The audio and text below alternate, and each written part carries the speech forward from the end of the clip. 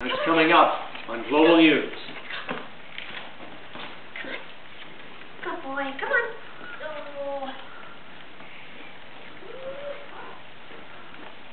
Want to do another one, or is that okay?